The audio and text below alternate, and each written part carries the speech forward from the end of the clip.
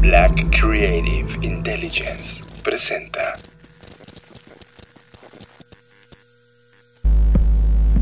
Escuchas. Escuchas. Escuchas un podcast de Dixo. Escuchas Creative Talks. Creative Talks. El podcast donde hablamos de creatividad, futuro, innovación, medios, disrupción y emprendimiento. Con Fernanda Rocha y John Black. Por Dixo.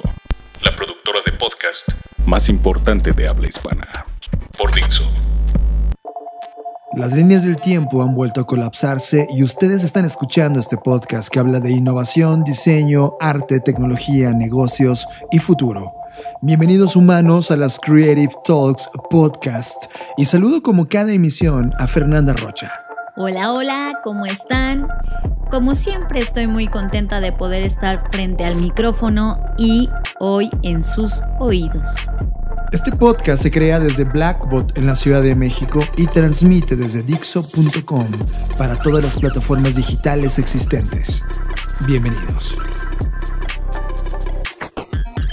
Tema de la semana. Discutimos el tema que ocupó nuestra agenda a lo largo de la semana. Presentado por Black Trends. Las mejores tendencias sintetizadas para ti. John Black. Esta semana iniciamos con una pregunta sobre un tema que creo que causa muchísima controversia, lo cual me fascina, y es el tema de la educación. La pregunta era, si tú consideras o crees que el homeschooling es la respuesta ante la situación que estamos viviendo, es decir, la pandemia, sí, no, y por qué sí y por qué no, y si no es, ¿cuál crees que sea la respuesta? Y así es como esta pregunta fue lanzada, tanto en mis redes como en las tuyas y en las de Blackbot, y me parece fascinante las respuestas que obtuvimos. Algunas de estas respuestas están en audio, otras las voy a leer. Pero lo que me interesa mucho es que ustedes escuchen los contrastes que hay alrededor de este tema de personas que tienen hijos, de personas que lo viven desde el punto de vista de estudiantes, desde profesores, y creo que eso es lo que enriqueció la conversación. Voy a comenzar con un comentario que hizo Gabriela Aguilera Jasso y dice así. Mi hija está en preescolar Montessori y ha sido muy complejo por los periodos de concentración frente a la pantalla y la naturaleza de las actividades que implican el uso de materiales y la lógica, porque abarcando todos los niveles educativos, mucho del reto está en los primeros años de educación, donde se puede afinar la comunicación, hacer uso de la animación y otros formatos para captar y mantener la atención. Aquí creo que hay tres puntos interesantes, John. El primero de ellos es la educación preescolar, que efectivamente, de acuerdo a cosas que yo he leído y que sobre todo de mamás que tienen hijos en esta edad, pues esta es una de las grandes preocupaciones, ¿no? Ahora, si a eso le sumamos el segundo punto de que ciertos padres eh, pues buscan una educación distinta, en este caso, o especializada, como es la educación Montessori, pues eso aún hace que las cosas se hagan más complicadas porque ninguno de estos modelos estaba pensado para transmitirse vía online. Y por último, si lo difícil a esta edad, si para ti como adulto es bien difícil concentrarte, ya me imagino un niño estar todo el tiempo viendo la pantalla a su maestra y, no sentir sus compañeritos y todo esto, la verdad es que no me había puesto a pensar desde esa perspectiva y qué complejo está pasando toda esta situación, ¿no? Pues esto, esto ya se volvió mainstream, ¿no? En, en, este podcast es la segunda vez en menos de un mes, ¿no? Que tocamos el tema de la educación como un tema importante. Y, y es súper relevante. Uno, porque evidentemente todos los sistemas educativos no quisieron jugar nunca realmente, no les interesaba con las posibilidades tecnológicas y hoy están siendo forzados por, por esta pandemia a volcarse al mundo digital y eso evidentemente hace un cambio completo de postura. Yo veo un tema importante, Fer. Eh, todo mundo, los distintos países del planeta, evidentemente hay quien lleva adelanto en el tiempo, están tratando de regresar a, la clase, al mundo físico, al aula. Pero no lo van a lograr. Es decir, basta con ver las actividades o algunos de los países que han abierto, qué ha pasado con ellos. Se, han vuelto, se han vuelto a reinfectarse. La realidad es que no vamos a regresar a clases al menos hasta que acabe todo este año. Es decir, todo el ciclo escolar que arrancaba en agosto, septiembre, va a tener que ser puesto en pausa en términos de la actividad física. Y realmente el mundo va a tener que esperarse a la vacuna.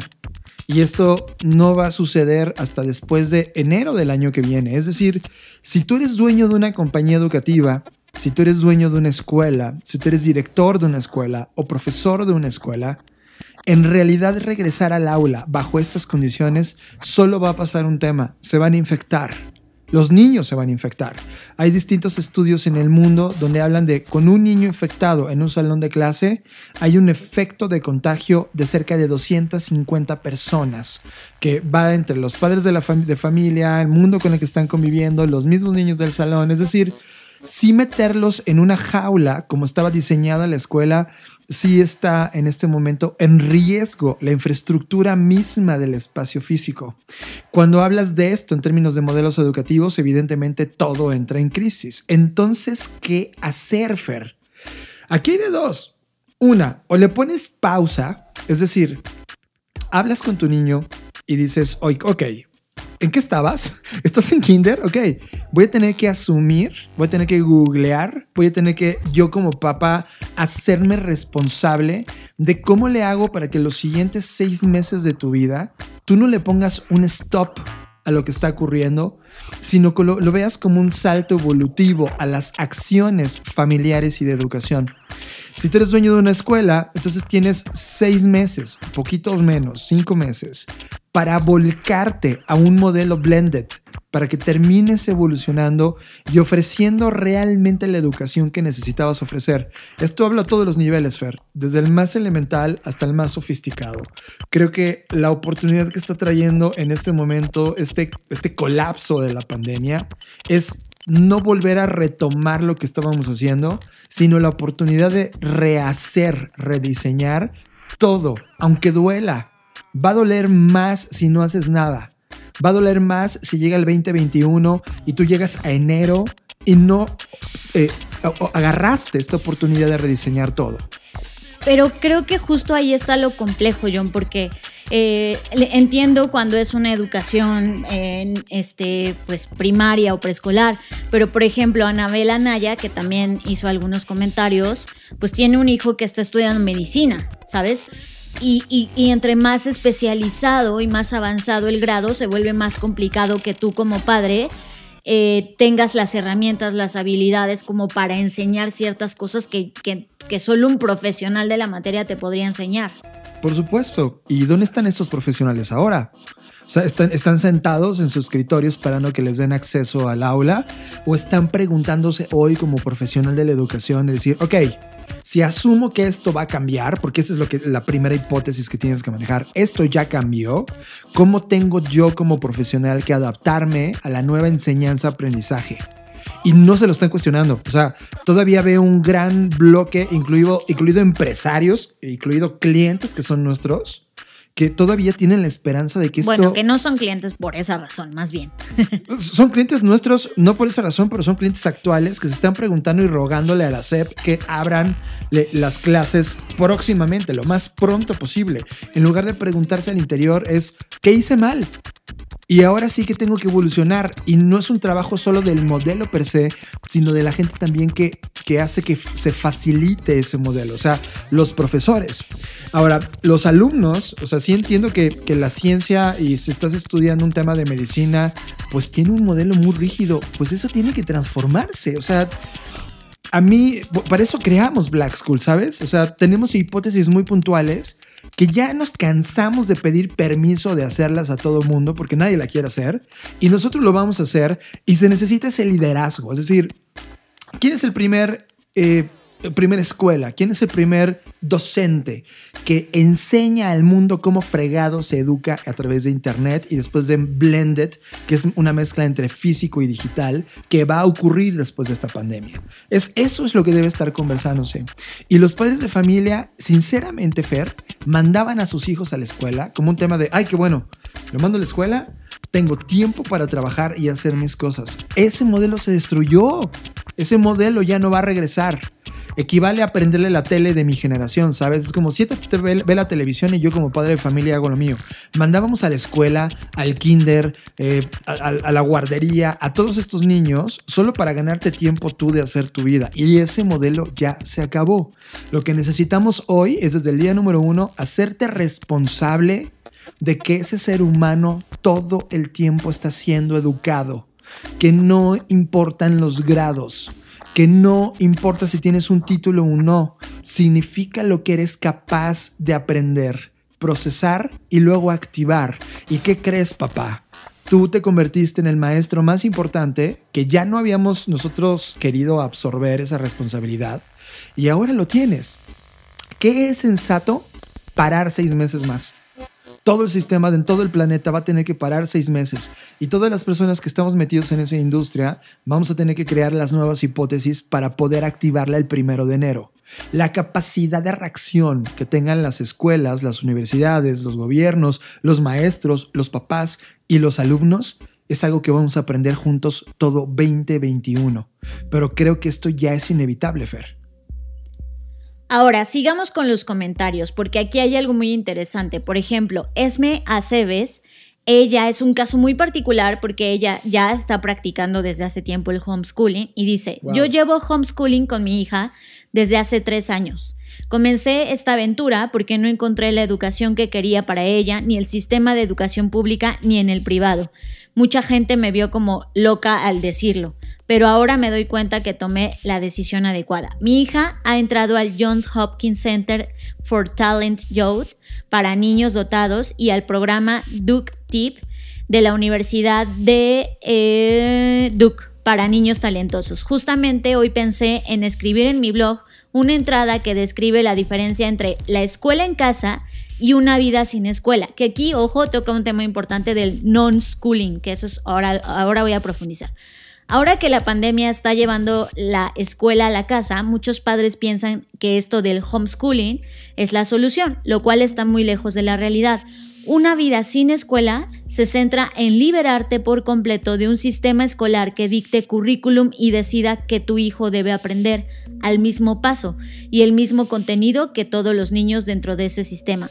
Una vida sin escuela es un padre decidiendo la forma el que cómo su hijo será educado tanto académicamente como social y culturalmente sin someterse a ningún sistema. lo cual la, hace la persona más innovadora que hay en el planeta. O sea, es- ese, ese Fer es justo la postura que necesitamos de los humanos afuera. Yo solo tengo un tema que me, provoca ruido en la cabeza. Sí, sí.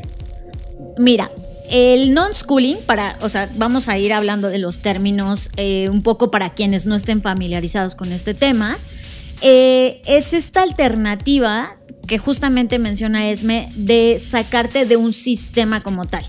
Es decir, que tú eh, mediante esta libertad vayas encauzando, dirigiendo qué cosas aprende tu hijo bajo diferentes enfoques y sistemas. Y si bien te puedes apoyar de algunas herramientas que ya existen, ejercicios, manuales, actividades, bla, bla, bla, la idea de esto se centraliza en la, en la no escolarización.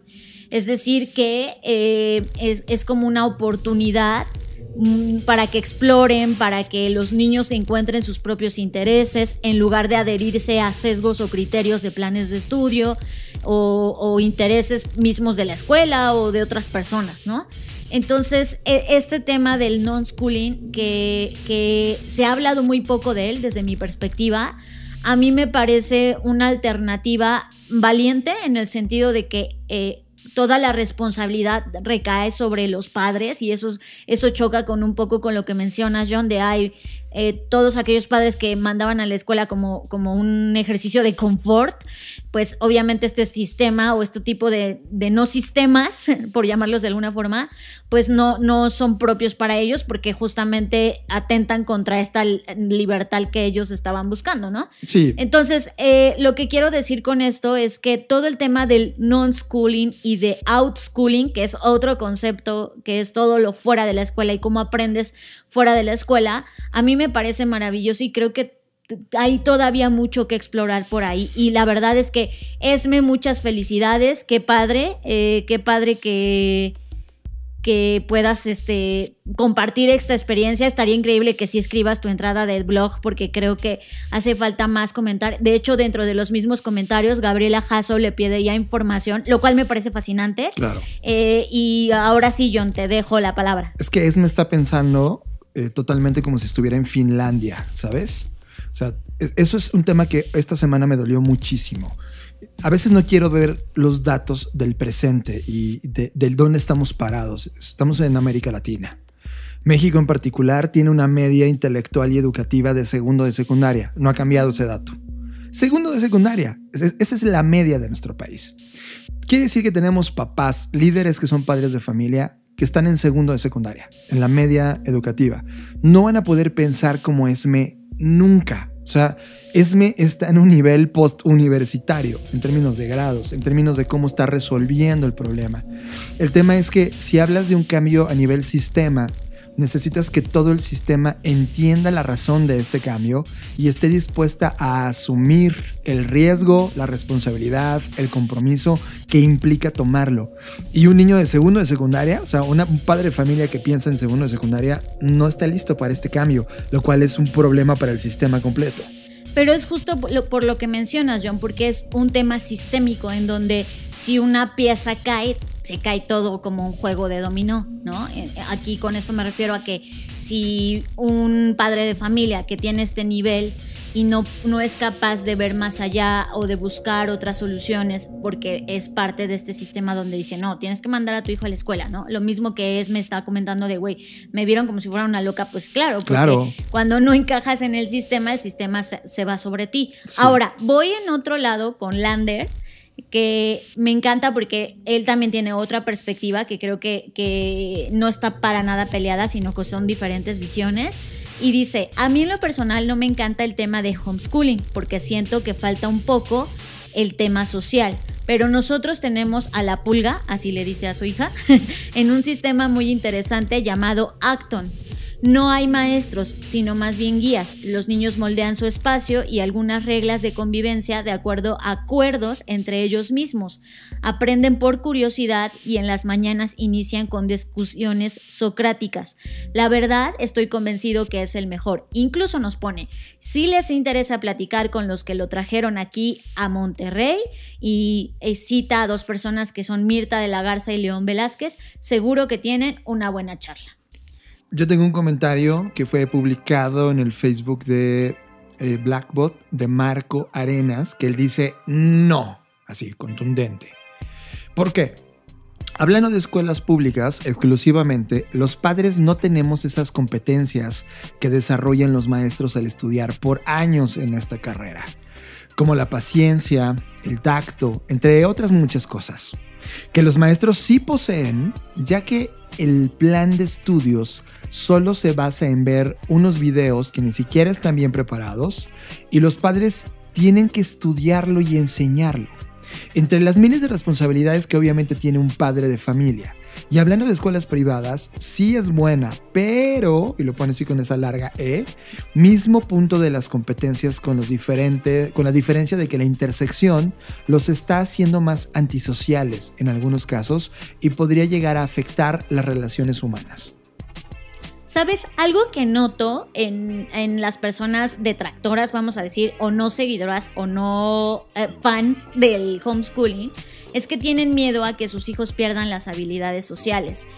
Y la verdad es que, por ejemplo, en el caso de Esme, eh, nunca menciona, ay, entonces ahora mi hija tiene problemas sociales, ¿no? Creo que más bien el tema de, eh, del problema social va más allá, es decir, ahorita eh, lo estamos viendo en la vida de, de, los adultos promedio que hay en este país al menos. O sea, este tema de la sociedad es, es lo que menos le importa a la gente, es decir, este concepto de la otredad, del respeto, etcétera, es lo que menos existe. Y, es a lo que voy es que, y esas personas fueron a la escuela a socializar, entre comillas, ¿no? Entonces, desde mi punto de vista, eso no garantiza que, porque tu hijo puede socializar, digo, ahora mismo es complicado, pero puede socializar en otras partes. O sea, al, al, final del día el ser humano es un ser social, es un animal social que puede ser capaz de socializar en otros espacios que no necesariamente son la escuela. Yo creo que termina el tema de ser social más que una actividad per se en el mundo social. Es una conciencia de qué significa ser social. Déjame explico. Tú y yo, Fernanda Rocha, somos antisociales con las reglas que claro, el mundo vi, estableció. Visto desde esa perspectiva, sí. Tú y yo fuimos los buleados. Cada vez que íbamos a un cuarto donde había una escuela y un salón de clases, éramos la víctima del bullying. Entonces, yo la verdad no desearía que un ser humano replicara el comportamiento que tú y yo vimos en la escuela respecto a nuestra experiencia. Y míranos aquí. Es decir, tenemos todas las habilidades sociales que queremos cuando queremos activarlas, ¿cierto? Pero para poder activar eso tuvimos que entender y tener una conciencia de qué significa ser social. Ser social no significa que puedas hablar con cualquier persona en cualquier momento. Significa el valor y el respeto que puedes tener por el que está al lado de ti y ese intercambio de valor y ese intercambio de ideas y de un comportamiento de respeto mutuo hacen que funciones como sociedad. Entonces, el tema de ser antisocial o no es un tema súper superado para el mundo digital, pero que evidentemente está en la agenda número uno de los padres, porque ellos jamás, y te lo aseguro, hoy ni siquiera entienden qué significa ser sociable. Pues ahí hay un tema que discutir. Vamos con Victoria Bean, que ella comenta que creo que un plan bien diseñado que no caiga en el error de solo hacer la típica clase tradicional y pasarla a la pantalla, la tecnología es una buena aliada. Debe haber tiempos, estrategias didácticas, planeación y usar la creatividad al máximo para aprovechar de manera adecuada las herramientas de la tecnología. Por cierto, yo les dejé a mis estudiantes leer su publicación y hacer un video donde reflexionen los cambios que estamos procesando este año y resultó algo bastante interesante. ¡Bingo! Muy bingo. bien, Victoria. Muchas gracias por, por, obligar a tus alumnos. Ah, no, no es, que, es que esa es la discusión. O sea, hoy estamos en un momento 100% creativo donde las personas que están tomando la voz, el micrófono y la pantalla están diciendo, oigan, no se trata de tomar una webcam y hacer lo mismo que haría cuando doy una clase física. Significa poder utilizar el lenguaje de todos los medios posibles. Y eso estás tocando un punto súper importante, John, porque he visto que varios se han reunido. Por ejemplo, he visto comunidades eh, con esta, no sé si, pues sí, con esta comunidad de UNID que son todas estas como, sí. pues ya sabes, como eh, líderes de universidades y instituciones sí. educativas preocupándose por el futuro, etcétera. También he visto comunidades en Europa que están haciendo ahora mismo, mientras hablamos, un como summit o evento, conferencia sobre, sobre estos temas. Y me da mucha, pues quizás no risa, pero me intriga mucho el que en esas conversaciones solo están como los líderes de la educación, pero no hay alumnos en esas conversaciones. Y creo que esto que toca Victoria es un tema muy, muy importante e interesante porque creo que la siguiente escuela la tienen que generar todos los involucrados. No puede ser solamente el sistema dictando cómo va a ser el futuro de la escuela o el futuro de la educación tienen que involucrar a todos los jugadores y eso incluye preguntar y hacer partícipes a los alumnos o a los estudiantes. En este país donde estamos, que es México, tenemos algo que se llama Secretaría de Educación Pública. Cada uno de los países tiene su propia secretaría o su propia división que se encarga de la toma de decisiones de la educación de ese país, certifica, etcétera. El problema que estamos viviendo hoy, Fer, y en general en todo el planeta, es que el siguiente gran salto no se, sal, no se trata de replicadores. Es decir, estos grandes viejos eh, que llevan años y años en un modelo que no ha cambiado, que lleva siglos sin cambiar y que ahí están psicólogos y expertos en la educación haciendo tonterías. Hoy esos replicadores no son necesarios. Lo que sí se necesita son iniciadores. Es decir, todo lo que estamos leyendo de las personas que ya se atrevieron a hacer su propio modelo, de jugar con las herramientas que hay, van años adelantados de los replicadores.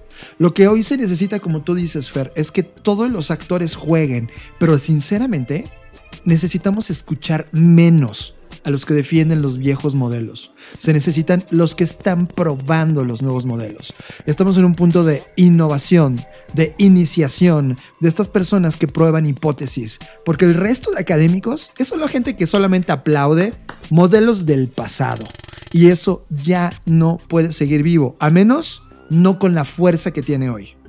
Creo que más que, eh, digamos que cerrar una ventana y cerrar ese capítulo y pensar que nunca pasó, yo sí lo que creo es que se podrían rescatar cosas del sistema pasado. O sea, creo que hay cosas que sí son imprescindibles, que sí son trascendentes, pero estoy de acuerdo contigo que eso tendríamos que pasarlo con unos nuevos lentes, un nuevo ojo que entiende la innovación, que piensa en lo que sigue, que está probando experimentos y que han resultado positivos o negativos, pero que han traído nuevo conocimiento. Vamos a tirar una hipótesis ahora mismo. Por ejemplo, tú tienes una escuela ya levantaste esta construcción, ya te endeudaste por vida levantándola. Ok, ya no vas a dar clases. Vas a hacer que ocurran cosas dentro de esa aula que no significa una clase. Va a ser más un laboratorio de probar conocimiento que ya tuviste quizá en una experiencia online, que ya te aseguraste de llevarlos en una narrativa online y que cuando te reúnes al salón de clase es para usar todo ese conocimiento en algo práctico que resuelva algo del mundo es decir, las escuelas como laboratorio de activación de conocimiento, no como un lugar pasivo de adquisición de información, que hoy ese modelo ya está rebasado. Yo sí soy más radical, yo sí pondría fuego a muchas de estas prácticas, si no es que casi todas, y las vería con esta nueva óptica, un laboratorio de activación de contenidos, no como una caja pasiva de recepción de información. Estoy de acuerdo contigo. Sigamos con los comentarios. David Rivera le pregunta a otra persona, le dice, ¿tú qué opinas, Master Rubén Jiménez? Y Rubén Jiménez contesta, David, Pienso que los padres de familia tienen el derecho, entre comillas, de educar a sus hijos como ellos crean mejor. Habiendo dicho eso, también es una realidad que no todos los padres están capacitados o tienen el talento o la facilidad para educar.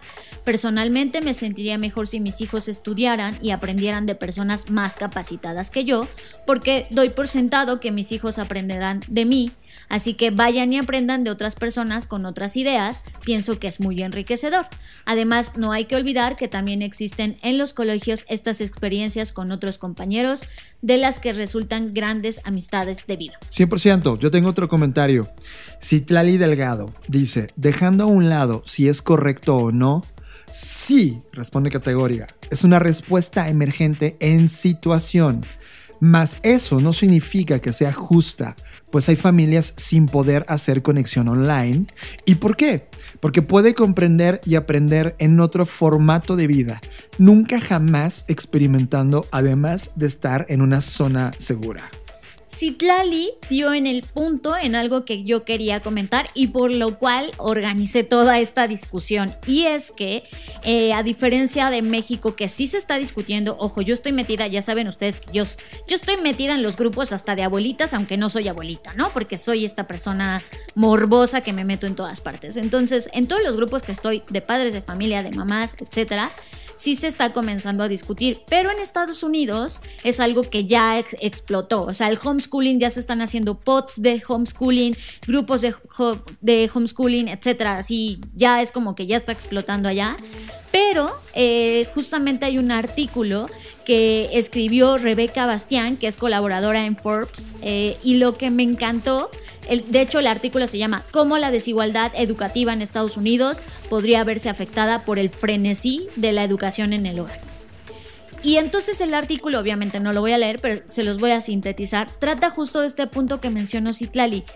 En, en, cualquier lugar, en cualquier país, el homeschooling debe tener como mucho cuidado porque hay un tema importante la desigualdad, la inequidad que vivimos, sobre todo pensando en países en Latinoamérica, en países como México, eh, si, si todo se volcara en una situación dada al homeschooling, obviamente eso le daría una gran desventaja a las familias que, como bien decía John, que ni siquiera, ya, ni pensemos en el nivel educativo, que ni siquiera pueden resolver el tema de necesidades básicas como comer, vestir, estar en una casa, etcétera los pondría en una situación todavía de más inequidad en es, bajo estos términos y este punto es totalmente importante.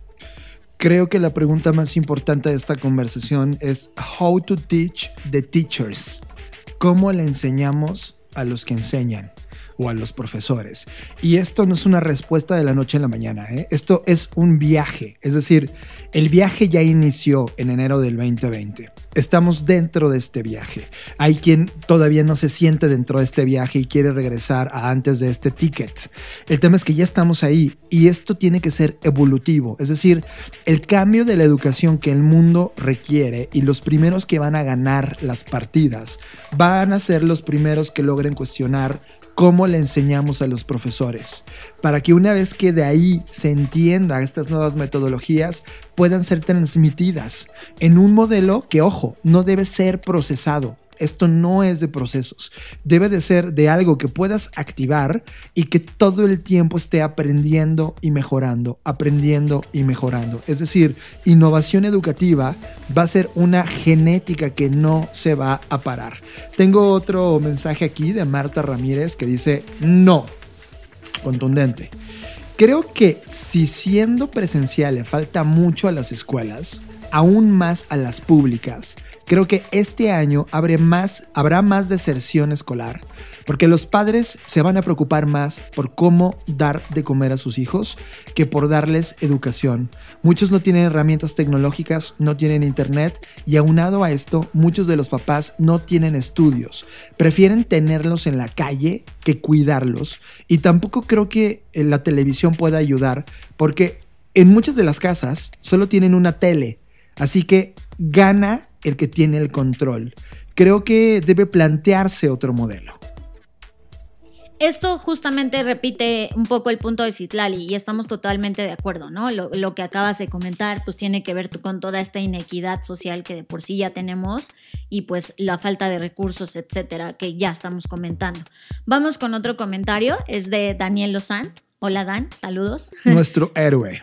Dice, creo que no se trata tanto del medio, sino del modelo educativo. Llevar las mismas metodologías y prácticas obsoletas a otra plataforma no las hace innovadoras o mejores, sobre todo en México, en zonas donde el rezago tecnológico no lo hace una opción viable. Si bien todo apunta a digitalizar, entre comillas, la enseñanza, debería ser también un punto de partida para replantear cómo se define la educación desde su nivel elemental. Me encanta ese pensamiento. Por ejemplo, muchas de las críticas que hemos seguido estos meses respecto a Black School, que es el modelo que estamos diseñando desde hace años, Fer, es que nos dicen, sí, pero ustedes son privilegiados. Sí, la respuesta es, por supuesto, porque utilizamos la plataforma llamada Internet para hacer llegar el modelo. Pero eso no significa que el modelo está cerrado. El modelo está abierto y el modelo puede optar dependiendo del medio en el cual es transmitido. Uno de los ejemplos es claro. ¿Qué pasaría si Black School, en lugar de ser una plataforma online, fuera una estación de radio? Y eso, por ejemplo, en Oaxaca, que es una de las zonas del país con mayor pobreza, sobre todo en la parte de la sierra, en donde la radio comunitaria es el medio. O ni siquiera radio, John, el perifoneo. claro. ¿No? ¿Cómo haces que tú, ese lenguaje de ese medio, pueda ser utilizado y adaptado al modelo educativo, cosa que no han hecho. O sea, la telesecundaria lo intentó, pero falló porque estaba replicándolo, no estaba entendiendo el modelo. Y eso nos habla de una palabra que yo siento que ya empiezo a escuchar que se vuelve esta palabra de moda, pero que creo que tiene sentido. Este término de la ubicuidad. Claro. Eh, y de la responsividad. O sea, para mí, y un poco complementando los comentarios eh, que de nuevo agradezco que hayan compartido, eh, esto se tiene que volver justamente adaptativo, responsivo, dependiendo el lugar, el medio, la forma en la que se transmita. Es decir, creo que la educación se estancó en un modelo, en una forma, bajo un sistema que incluso estaba restringido en términos físicos, ¿no? Y que ahora se ve obligada a mutar a otros lados, etcétera, pero creo que si estamos en este momento de rediseño, de repensamiento, de replanteamiento, pues tendríamos que pensar en una educación que sea capaz de adaptarse a cualquier lugar, a cualquier circunstancia y que aún así se pueda llevar a cabo. Totalmente de acuerdo contigo. Creo que esta, esta descripción de contenido adaptativo lo aprendimos muy de avanzada con los contenidos que poníamos en redes sociales y a través del marketing digital. Y ahora este pensamiento se aplica totalmente a esto. Tenemos un audio súper interesante de Alex Taboada, así que se los ponemos ahora mismo. Definitivamente esta situación nos está poniendo en, en el foco de lo que realmente tiene que ser la educación sí es ahorita vital educación esté a distancia, aunque yo tengo en mi muy particular punto de vista la idea de que ahorita va a tener que ser muy bien pensado un modelo híbrido, un blending learning, o sea, educación a distancia, e-learning, un poco de presencial, escalonado, con su sana distancia, por toda la serie de factores que requieres para que la educación sea completa. Pero es súper necesario ponerse a analizar, a hipotizar, perdón, hipoti y, ay, generar las hipótesis necesarias, perdón, para el futuro de la educación. Yo concuerdo mucho en esta idea de, pensando en las super apps, enfocarnos en Netflix, y en esta cuestión de que en realidad a la larga, que de hecho está sucediendo, los títulos ya no van a ser tan importantes, sino más bien tus habilidades. Entonces no va a ser tan necesario un lugar físico grandísimo, o sea, una escuela pegada a una cafetería nice, que es lo que la gente paga, sino a lo mejor un lugar más sencillo, un espacio distinto, algo como un ágora educativa tipo griega, donde pueda haber realidad, diálogo, discusión y formación, que eso complemente el blending learning.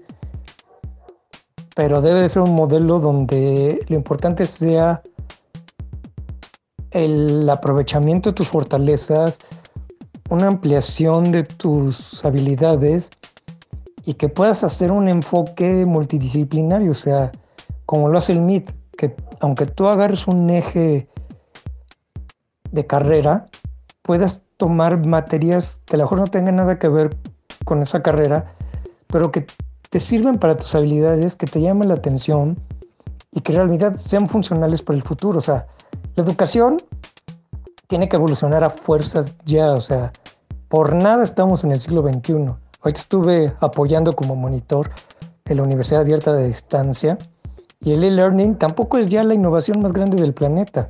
O sea, tiene que ser algo todavía más adelantado, algo donde haya más diálogo, donde haya más trabajo colaborativo, donde el aprendizaje se forme en pares y eso implica al docente y a los discentes, donde haya un trabajo de construcción del conocimiento, donde se plantee creativamente las hipótesis y las problemáticas reales, donde se trabaje con enfoque social, tiene que ser un modelo que va más allá del homeschooling, o sea, sí hay que llevar la escuela ahorita a la casa, pero no replicando las clases, no replicando el mismo modelo, sino generando una experiencia en línea constructiva, algo, este, buscar modelos donde se, este, se pueda probar cosas, buscar este, cómo resolver desde casa con lo que tienes a la mano problemas reales, o sea, situaciones límite creativas,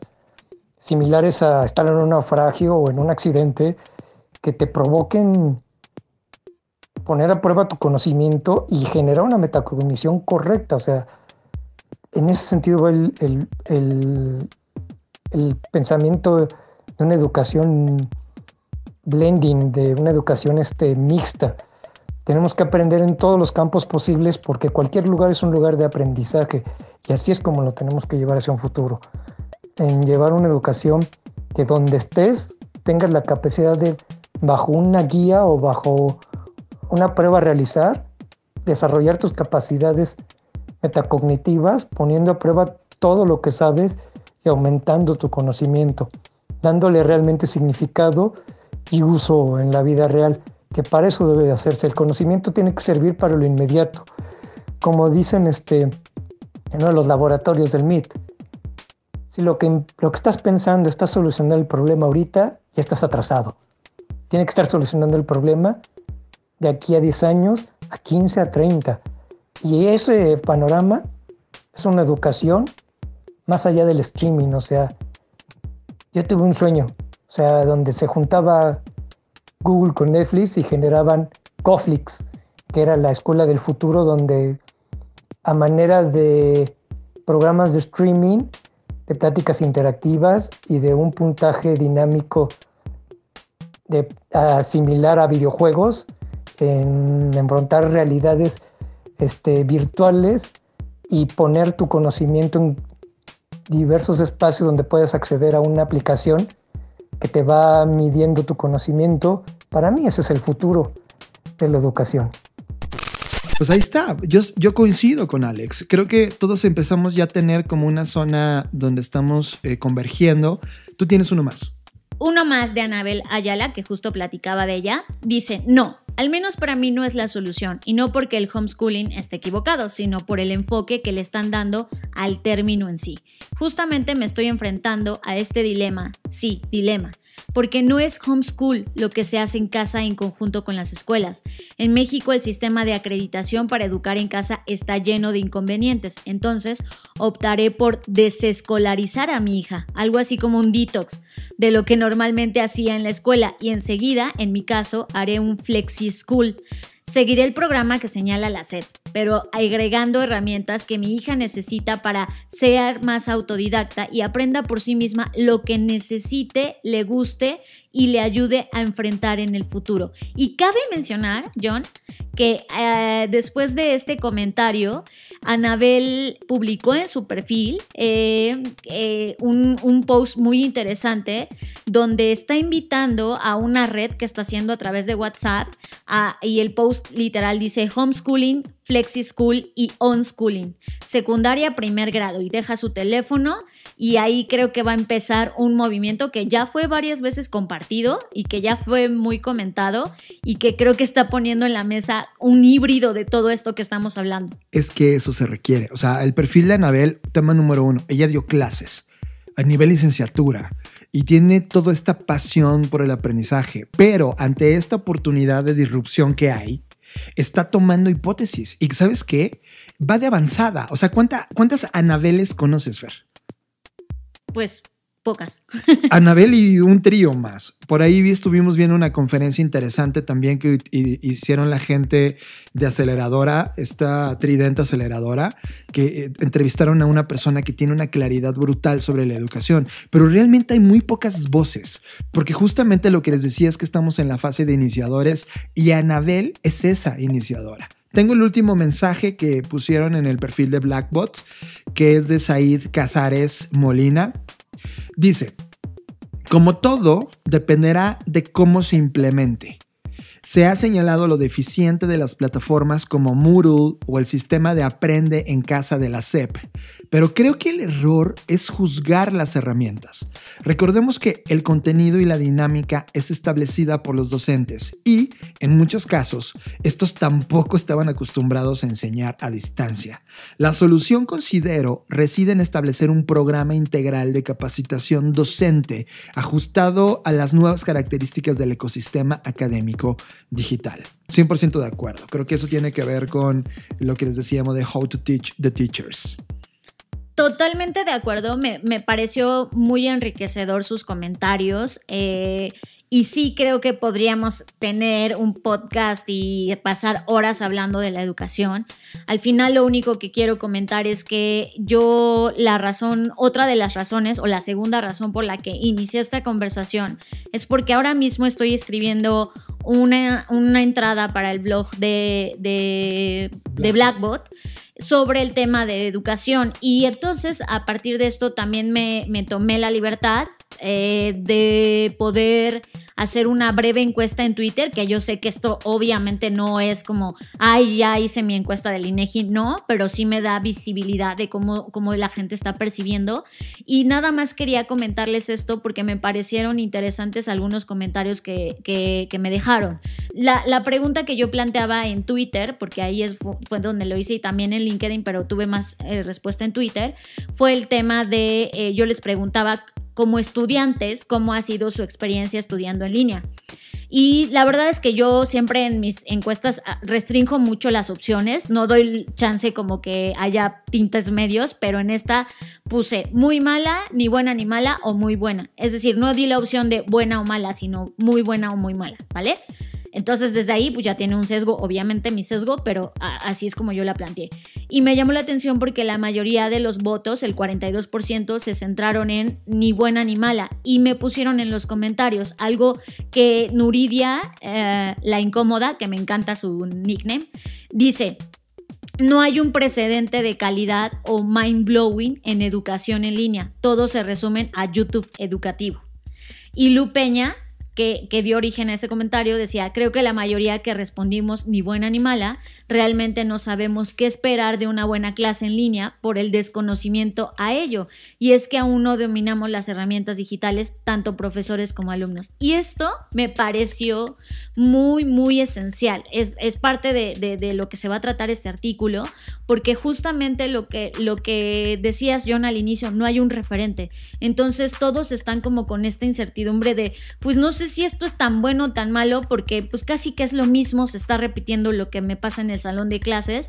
Y ojo, aquí en esta pequeña representación de 71 votos, eh, eh, el 19% dijo que muy mala, ¿no? Entonces, creo que ahí está la respuesta y, justamente por eso eh, las discusiones que provocamos en Blackboard no nada más es para decir, ah, bueno, pues qué bueno o qué malo, sino para presentar nuevas hipótesis. Y justo la hipótesis que nosotros tenemos ahora mismo en la mesa, pues es Black School, que como ya lo mencionó John, pues lo hemos venido trabajando desde hace tiempo, pero hoy como que se confirman muchas cosas, se eliminan otras tantas y ya, ya, ya verán, vamos a profundizar, e, este, este fin de semana va a quedar listo, pero creo que sí muy interesante ver que estamos incómodos y a mí eso me gusta. O sea, el hecho de que se esté hablando, de que la gente diga, es que no me encanta, no me siento cómodo, o estoy sufriendo, lo estoy padeciendo, o estoy buscando nuevas alternativas, a mí ya me dice mucho de que aquí, que aquí está pasando algo y esto va a trascender.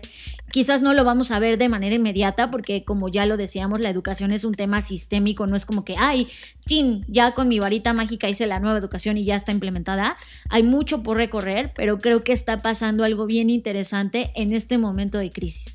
100% de acuerdo. Y hay un pensador que siempre recurro a él cuando el caos y el ruido no tienen claridad y es cosas del pasado. El pasado te explica muchas cosas del presente y el futuro. Este pensador se llama Marshall McLuhan. ¿Se acuerdan cuando decía el medio es el mensaje? Ok, eso lo dijo por ahí de los 50, 60 del siglo pasado. 1955 por ahí fue que lo dijo. Y él se refería a cómo cada medio tiene sus cualidades. No había internet en ese momento. Hoy que sí tenemos internet, no cometan el error que cometió la industria del marketing. Es decir, el marketing se dividió en dos, marketing digital y marketing tradicional. ¿Qué pasa 25, casi 30 años después de esa división? No existe la división. Es marketing a secas y de hecho se hizo sofisticado y ahora en lugar de ser marketing es más comunicación. ¿Qué es educación? No es educación en línea o no en línea es educación. Y si cada medio es el mensaje, de acuerdo a Marshall McLuhan, lo que sí tenemos que tener clarísimo es qué cualidad tiene cada medio. Es decir, qué cualidad tiene estar en un lugar físico. Saquémosle jugo a lo mejor. ¿Qué cualidad tiene estar frente a una pantalla? Saquémosle jugo a esa pantalla. ¿Qué cualidad tiene que estés escuchando Spotify? O que estés escuchando la radio? O que leas una revista o un libro? Esas cualidades en suma, cuando las pones en una narrativa, cuando apuntas a un aprendizaje de experiencia, no de texto, porque no se trata de que lean y lean y lean sin entender cómo fregado se aplica. Hablo de cómo vivir en experiencia ese conocimiento aplicado al día a día. Ahí es cuando aprendes. Ahí es el momento. Y discúlpenme, todos los que estudiaron educación y los que son científicos en educación no lo lograron. Estamos en 2020 y no lo lograron. Y lo peor de todo es que no tienen respuestas. Y lo peor es que siguen defendiendo las viejas respuestas. Este es el momento de ruptura. 2020 es el momento donde se abrió la puerta a esa conversación para hablar de educación y entender que cada medio tiene su lenguaje. El medio es el mensaje. Y solo quiero complementar esto que estás diciendo, John, con algo, una frase que me pareció maravillosa que descubrí en un libro eh, que dice: Machines are for answers o answers y humans are for questions. Y eso para mí fue muy revelador, porque exactamente eso tiene que ver con lo que acabas de decir. ¿En qué sentido? Nos toca hacer las preguntas correctas, nos toca hacer nuevas preguntas, nos toca cuestionar todo lo que hoy está pasando, porque el hecho de que haya sido así durante tantos, tantos años, durante tanto tiempo, no significa que sea la respuesta correcta. Yo, ahora que mencionas esto, tuve una discusión en... Eh, con un profesor de la especialidad que, me, que justamente platicábamos de esto y me decía, no, es que tienes que seguir el modelo porque por algo está ahí el modelo, por ah. algo, y, yo lo que le decía era como, el que esté ahí no significa que funcione, ¿no? No, pero, pero sí, sí, porque es un modelo replicador, ¿sabes? Ahí es donde se divide el pensamiento de gente que solo replica. Y perdón, está bien, no está mal, está bien, eres replicador, sigue las reglas, está increíble, el mundo funcionó así pero el 2020 no funciona así. Y por eso hicimos este podcast, Fer, para los iniciadores, para, para que cada uno de estos iniciadores pudiera conectar con ideas en la cual estamos parados todos y pareciera que estás abandonado en este mundo, pero no. Iniciadores son las personas que revolucionan las cosas. Dile a tu profesor que, no sé, vea cómo lo hacemos. Media. Hablamos de los contenidos que vemos en Netflix, Amazon, YouTube, Vimeo, HBO, iTunes o nuestro timeline de Internet. Media. Media es presentado por Blackbot, la compañía que diseña el futuro. Y así de manera veloz, Fer, nos tardamos 40 minutos hablando de un tema. Es la primera vez que destinamos tanto tiempo sin parar algún tema. Y eso me vuelve, o sea, lo apasionado que puede ser hablar de la educación, porque todos estamos metidos ahí, lo quieras o no. Y es brutal. Pero ahora que estamos en la sección de media, pues nos topamos con una gran sorpresa, Fer, que está disponible solamente en Amazon Prime Video. Si tú no lo tienes, te va a costar, te, a sentir, te vas a sentir un poco ajeno o probablemente termines contratando Amazon Prime Video. Vimos algo que es una novela de Philip Pullman, publicada en 1995 en el primer libro, y ahí se desprendieron otros dos libros más. El último se publicó en el año 2000. Y esta serie en particular se llama His Dark Material o La Materia Oscura. His Dark Materials, con ese. Materials. Oye, ¿qué, qué sentiste? O sea, Creo que tú estás mucho más emocionado que yo. O sea, a mí sí me gustó, pero no estoy como que a borde del éxtasis. O sea, eh, sé que en tres, cuatro meses quizás se me olvide de qué pasó. O sea, no es algo que me haya marcado tanto. Me gustó, sí. Me gusta el tema, el drama, eh, el plot, que me parece muy interesante porque en síntesis es una crítica dura y directa a todo el, pues la iglesia, ¿no? Y este, este mundo eclesiástico y cómo eso ha provocado pues mucho caos y mucho mal a la sociedad, ¿no? Entonces creo que no me, no, no, o sea, no, no me siento como, wow, es como, no sé si va a estar en mi top del año, pero me pareció interesante que, se planteen estos, este tipo de formatos hablando de temas más profundos, eh, pero en una dosis como muy sutil de algo maravilloso, fantástico y con la actuación de esta niña que la verdad lo hizo muy bien, Daphne King, eh, y, y bueno, todos los personajes creo que son muy buenos. Eh, pero eso es, esa es mi perspectiva. Wow, yo pensé que te habías vibrado igual que yo. Para mí sí está en mi top 5 del año. Ándale. Está, está cañón. Y, y- es que, perdón, yo no había leído nada de Philip Pullman. Yo no, yo no había leído nada de esto. Me gusta la postura anti, antieclesiástica. Me encanta. Me encantan las historias paralelas. Es decir, hay dos mundos. No quiero contar nada de la historia porque quiero que la descubras como yo la descubrí, sin esperar nada a cambio. Y terminó dándomelo todo. Pero, en serio, ¿Qué tal? Sí, en verdad, a mí sí me abrió todo un bloque en mi cabeza sobre líneas de tiempo, sobre mundos paralelos, sobre mundos que están conectados unos con los otros. Por ejemplo, el concepto de los daimonions, que lo van a encontrar dentro de, de la serie, los daimonions se me parecen espectaculares. Son, son manifestaciones físicas del alma. Aquí en este plano de vida en el cual estamos parados, pues no, no vemos el alma, o sea, solo lo sientes, ¿no? Es como vives, tu alma está dentro de ti, quizá esa es la parte de Dios que tenemos todos, pero en esta serie los daimonions sí tienen una manifestación física y se proyectan en forma de animales. Entonces, dependiendo la edad que tienes, imagínate toda esta parte de eres un niño, probablemente tu daimonio sea un puma, pero cuando te vuelves adolescente, el puma se transforma y es más un oso. Pero cuando ya te defines, porque hay un momento en, ese, en ese planeta o en esa línea de planeta o línea de tiempo, en donde el daimonion ya no puede transformarse y se consolida, porque el humano también consolida su personalidad, igual termina siendo un mono, ¿sabes? Estas manifestaciones, este tema de cómo separan muchos de los conceptos que nos da mi- miedo conversar en la vida real del planeta actual y cómo esta serie lo va abordando. A mí me, atrapó. Y en el Comic Con 2020, que acaba de ser y que fue una experiencia 100% online, dieron a conocer el primer tráiler de la segunda temporada de la saga. Creo que a mí ya me atrapó y, y al menos tiene más historia, narrativa, ideas, crítica, fondo que cualquiera de las Star Wars que hemos visto en los últimos tres años. Wow, ¿qué tal? Pues mira, yo la verdad lamento no acompañarte en este sensacionalismo que acabas de Ah, comentar. sensacionalismo, ¿qué tal? Alarma, ¿no? Ya se lo publicó. Ándale. Pero pues no podemos estar de acuerdo en todo. Sorry. A mí, ¿sabes qué? Me, me llevó mucho a, a la historia de Narnia. Creo que tiene este, este look londinense. Y lo de Harry Potter, hermoso. ¿no? Ajá. Mm, sí, un poco por el tema de los Daimonions, quizás. Pero, ay, esta vez, te, amiga, date cuenta. no- Ok, está bien. Solo tomaré que las lágrimas que derramaste eran pura falsedad, Fer, ¿eh? Qué mentiroso. No, no, no, no estaba llorando. No, Bueno, está no bien. estaba llorando. Eh, Esto, o sea, públicamente, esto, esto, eso es escandaloso.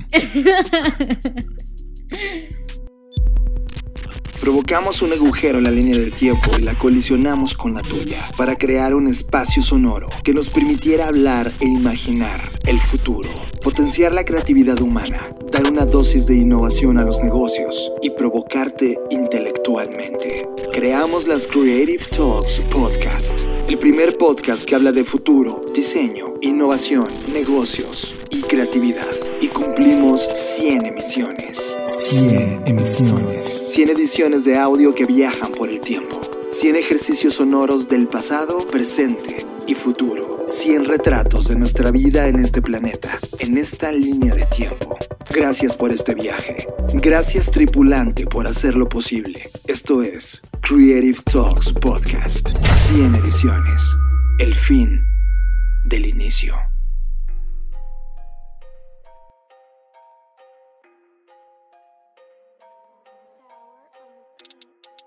Fer, estaba leyendo un artículo online que llamó totalmente mi atención porque se llamaba El único hábito que evita que te vuelvas obsoleto.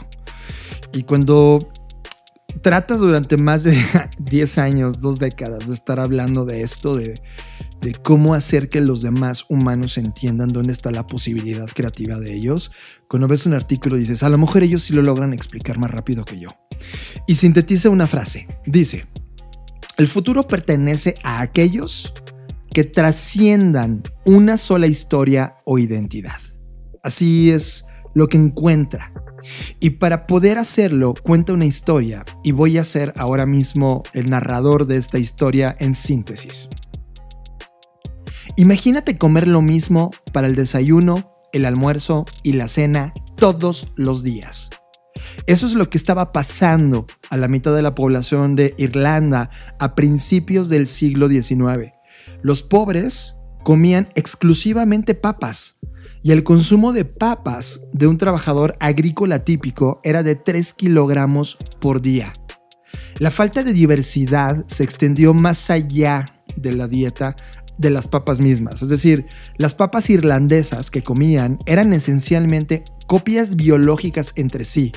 No había variaciones, era la misma papa, era la misma papa que siglos atrás había estado viviendo y los agricultores tenían la misma práctica para sembrarla, la misma práctica, la misma variedad, todo era igual, era clonar lo mismo y lo mismo todo el tiempo. Esta estrategia funcionó bien hasta que los barcos de vapor de la América que empezaron a recorrer el mundo trajeron consigo visitantes nuevos. Uno de esos visitantes era un hongo llamado Pitoftora infestans, que es el nombre origen griego que significa destructor de plantas. Este hongo, cuando pisó suelo irlandés, borró por completos los cultivos de papa irlandesa y los convirtió en limo no comestible. El llamado Gran Hambre que vivió esa época en Europa y en particular en Irlanda duró siete años. Para 1852, un millón de irlandeses perdieron la vida por culpa de este fenómeno del hongo y otro millón había abandonado el país, lo que provocó que la población se desplomara en casi un 25% del total de pobladores de allá. ¿Qué significa esta historia? Que la falta de diversidad genética en las papas irlandesas, cuando llega un invasor que crea disrupción, acaba con todo el ecosistema vigente. ¿Les parece la historia de lo que está pasando hoy? Es decir, la falta de diversidad en cualquier sistema, ya sea una papa, un negocio o un ser humano, la falta de diversidad te hace vulnerable. Las personas hoy pagaron mucho dinero en su educación para especializarse en una carrera estática. Justo esta conversación la teníamos en el podcast anterior, generalista o especialista, ¿se acuerdan? Bueno, las personas que son especialistas se especializan en una carrera estática que se ve interrumpida en algún momento de la línea de tiempo por un cambio dramático. Las empresas se vuelven obsoletas después de invertir demasiado en las mismas variedades de papa año tras año. Es decir, hacer lo mismo una y otra y otra vez. Pregunta para ti en particular. ¿Cómo vas en este cambio de cultura llamada COVID? ¿Sigues haciendo las mismas cosas? ¿Extrañas las cosas que hacías para volverlas a hacer de la misma manera cuando termine esto del COVID, como le dicen afuera? Si te has definido como un vendedor de películas analógicas, ignorarás la revolución digital eso trajo Netflix, ¿ok? Si te has definido como un fabricante de unidades de GPS para un tablero e ignoras lo que ha sucedido con los teléfonos inteligentes, perdiste la, gran oportunidad como la compañía Garmin. ¿A dónde va todo esto? Cuando llega una plaga, y el mundo tiene una forma de introducir plagas en el peor momento posible, llama la COVID-19, los que sobrevivan serán los que hayan desbloqueado sus multihabilidades y plantado semillas nuevas de variedades distintas, aunque eso conlleve riesgos para obtener múltiples cultivos antes de que venga el hambre. ¿Qué opinas de esto, Fer? Pues creo que mucho de esto es lo que comentábamos en la edición pasada y yo siempre creo en la, ya me hackeó este libro de amplio espectro de pensamiento, porque ya no puedo pensar solamente desde una perspectiva, trato de multiplicarla. Y, creo que funciona muy bien que estés consumiendo eh, y que estés haciendo muchas cosas eh, y que estés enterándote y educándote y aprendiendo sobre muchos temas. Me parece genial.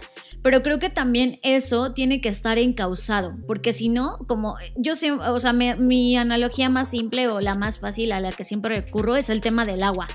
Si tú dejas que el agua se desborde, el agua se vuelve destructiva, ¿no? Porque busca salidas y busca dónde ir y, y se pueden originar catástrofes a partir de eso. Entonces, creo que todo esto que estamos promoviendo o que estamos pensando sobre de diversificar tu conocimiento, diversificar tu, carrera profesional, etcétera, tiene que ir con una anotación al pie que diga, ok, todo esto sí, pero tiene que encauzarse hacia un propósito, porque si solo lees 10.000 artículos al día solo por leerlos y eso no lo conviertes en nada, pues solo va a ser al final del día pérdida de tiempo, ok, vas a saber un chorro de cosas, pero eso qué.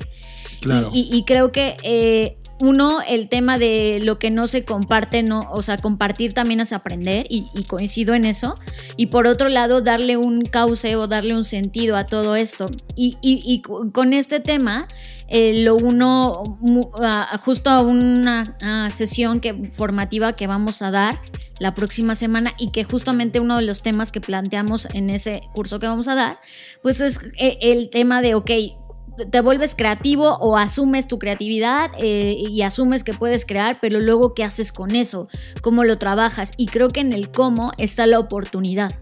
Fer, me encanta todo esto que estamos hablando, pero necesitamos un segundo programa, así que la siguiente edición vamos a seguir hablando de esto. Pero por mientras, los voy a dejar con este track y les contamos todo de él en cuanto termine. Están escuchando las Creative Talks.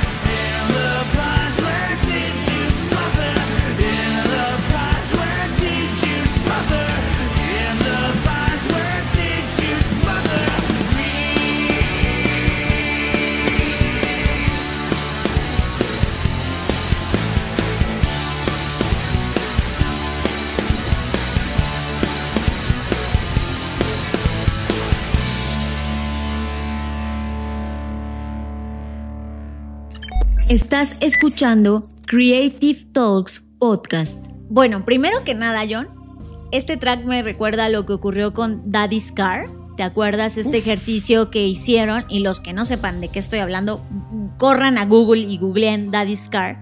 Y fue un ejercicio también de inteligencia artificial que se encargaba de pues resucitar a los Beatles en términos de su música y cómo se escucharía un track compuesto por ellos hoy en día. Y, eso es justamente lo que replica este ejercicio de Nirvana.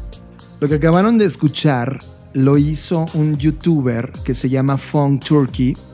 Él lo que hizo es que agarró todo tipo de datos que había, todo el tema de letras de canciones de la banda de Nirvana y los metió en un lugar que se llama lyrics.rip y de ahí metió toda esta información, cuándo nacieron, cuáles eran los temas sociales, qué cosa estaba ocurriendo en los noventas, qué significa el grunge. Y después de todo esto lo mezcló y obtuvo una nueva síntesis, una nueva letra de un nuevo track.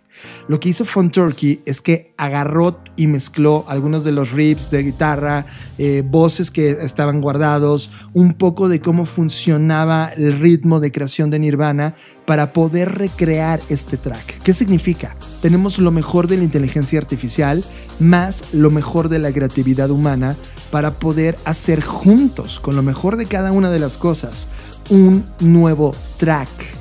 Eso significa mucho, Fer. Eso es lo que tú y yo hemos estado hablando durante años y años y años sobre cómo va a ser el futuro.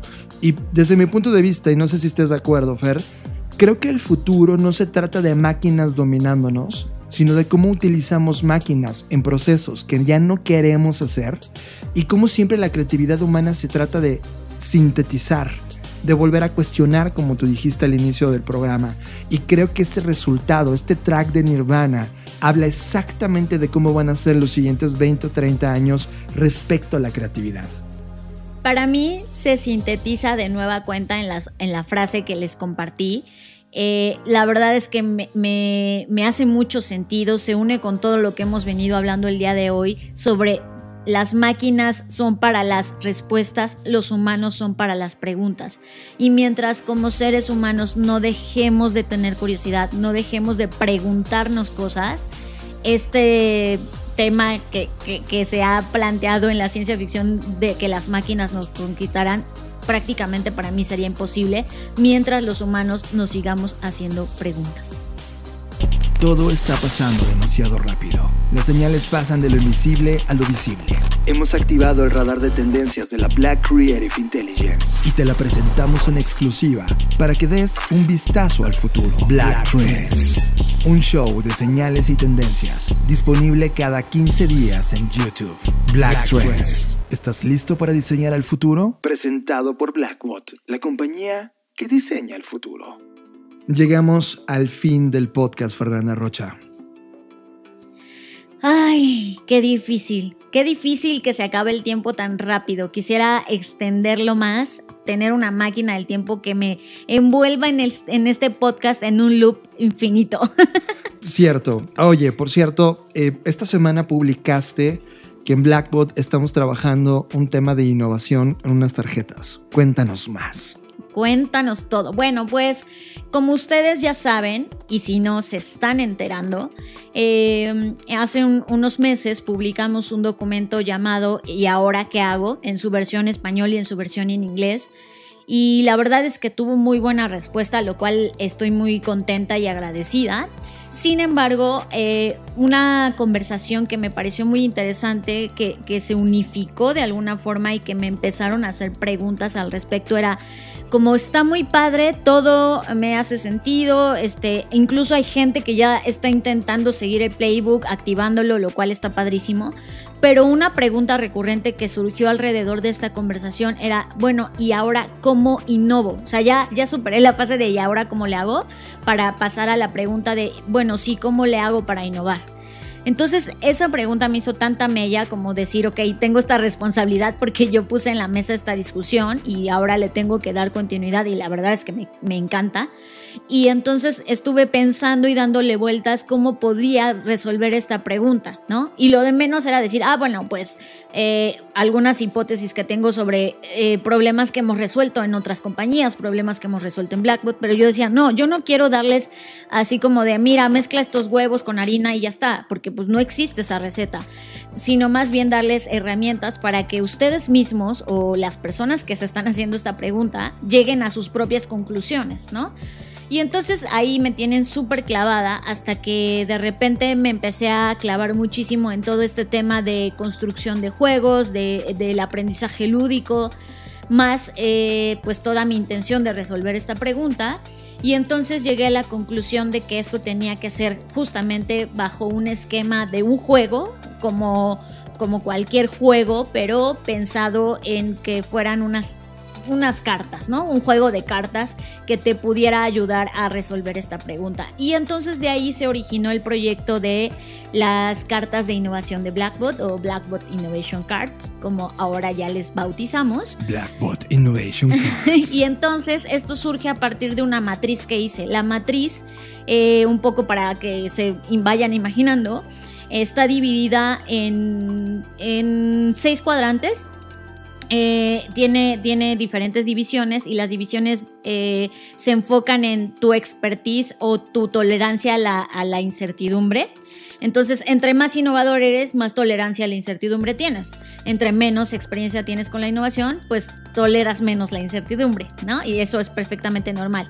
Y por otro lado, en el otro cuadrante, en la otra coordenada o en los otros ejes, pues tiene como el, el nivel de inversión que esa innovación necesita, tanto en tiempo como en dinero, ¿no? Porque hay eh, innovaciones que se pueden activar de manera muy rápida, de manera muy sencilla, pero hay otras que hay que invertir o hay que asociarse o hay que pues, correr más riesgos, ¿no?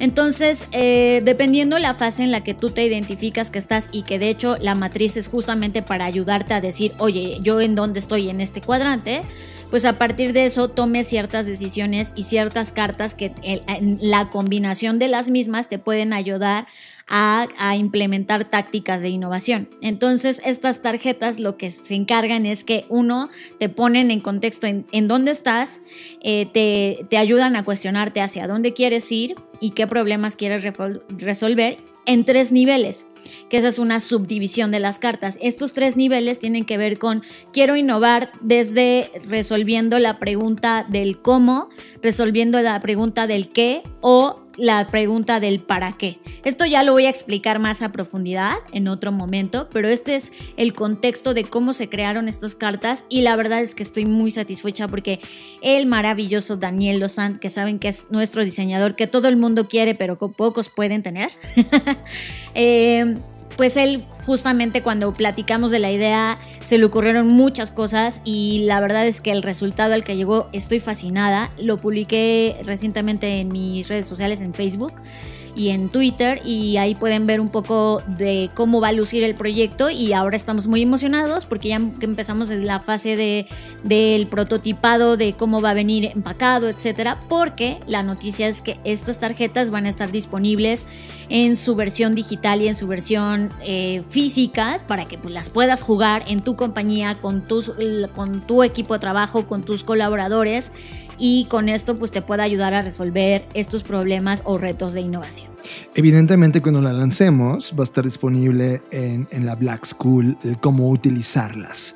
Y evidentemente también está creada, evidentemente, esa palabra me tengo que quitar, que la puedas descargar gratis y puedas aplicarlo. Wow, muchas cosas están ocurriendo dentro de Blackbot Fair y agradezco a todas las personas que están con nosotros colaborando y creando cosas y escuchando este podcast que ya ha llegado a su fin. Les agradecemos. Este es el podcast 95.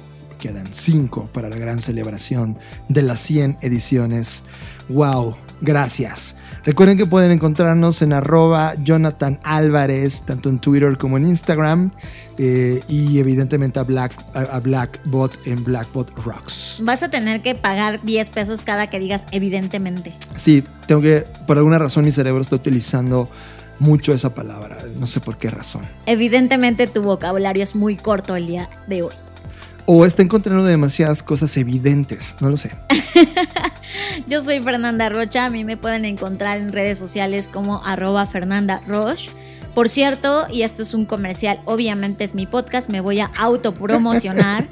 eh, voy a estar dando una charla en un evento que se llama Publicitas Connect. Espero estarlo diciendo bien porque no sé dónde va el acento.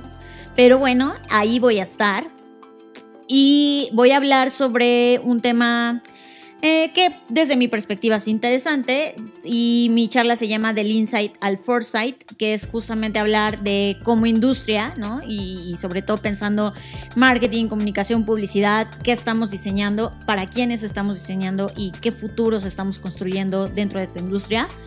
Y bueno, pues ahí los invito si tienen oportunidad. Eh, para más información, pues vayan a, mis, a, mi, a mi perfil en redes sociales. Ahí, ahí, está la información, el link, el registro. Si es un, es si es un este, evento de, de paga, pero la verdad es muy asequible y pues ahí estaremos. Así que no olviden seguirme en mis redes y a Blackbot no olviden tampoco seguirlo porque lo encuentran en todas las plataformas como Blackbot Rocks.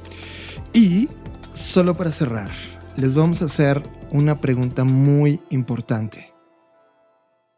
¿Cuál debería ser el papel de un CEO para poder liderar este momento de crisis? Recuerden, mándenos mensaje o vamos a publicarla también en nuestras redes sociales para que puedan contestar y nosotros la leemos en este programa y vamos sintetizando el tema. Nos vemos en el futuro. Bye. Provocamos un agujero en la línea del tiempo y la colisionamos con la tuya para crear un espacio sonoro que nos permitiera hablar e imaginar el futuro, potenciar la creatividad humana, dar una dosis de innovación a los negocios y provocarte intelectualmente. Creamos las Creative Talks Podcast, el primer podcast que habla de futuro, diseño, innovación, negocios y creatividad. Y cumplimos 100 emisiones. 100 emisiones. 100 ediciones de audio que viajan por el tiempo. 100 ejercicios sonoros del pasado, presente y futuro. 100 retratos de nuestra vida en este planeta, en esta línea de tiempo. Gracias por este viaje.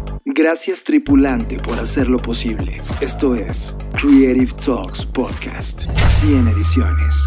El fin del inicio. Dixo presentó. Dixo presentó. Creative Talks. El podcast en donde hablamos de creatividad, innovación, medios, disrupción y emprendimiento. Con Fernanda Rocha y John Black. Por Dixo, la productora de podcast más importante de habla hispana. Nos escuchamos en el futuro.